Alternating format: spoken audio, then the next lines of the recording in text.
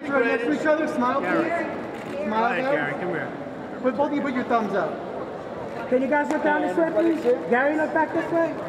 Mr. Trump, Gary, Mr. to your left. straight ahead. We're going to become used car salesmen. Guys, That's this way, okay. please. I'll buy one from you. You did a great job.